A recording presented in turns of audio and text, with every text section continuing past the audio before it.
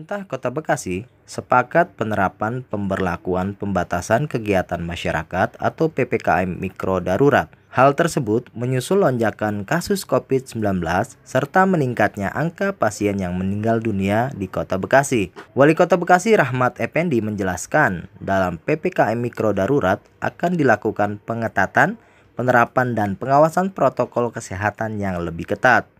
Saat ini telah dilakukan sejumlah upaya dalam penerapan PPKM Mikro Darurat, di antaranya pendirian posko Satgas Penanganan COVID-19 di tingkat RW.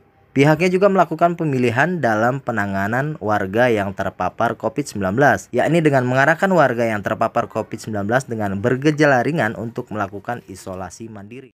Tidak semua daerah punya PPKM Mikro Darurat. Pemerintah pusat mengeluarkan PPKM Mikro Nah, kalau ternyata tingkat penyebarannya melebihi dari kapasitas, maka saya selaku kepala daerah mengambil inisiatif menetapkan kedaruratan. Daruratnya apa ukurannya? Pasiennya bertambah, ya, kapasitas pelayanan kesehatannya terganggu sampai dengan proses pemakaman.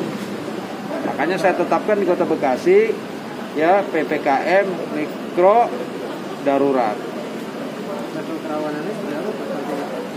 Nah, kan pasiennya meludak, bornya melewati batas kewajaran. Ya. Sementara kapasitas kita rumah sakit umum saya sudah minta 75% untuk Covid. 25% non Covid. Di sini sudah kita tambah, ya.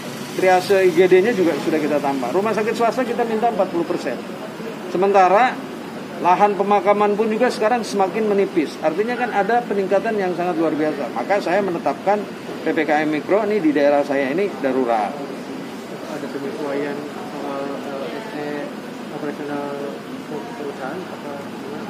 Perusahaan gimana? Uh, jam-jam operasional itu Pak. Jam operasional kan sudah ditargetkan sama pemerintah tidak boleh lebih dari jam 20 ya.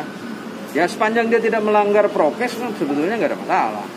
Pada uh, rencana penghentian layanan IGD seperti di kabupaten Pak untuk pasien non COVID.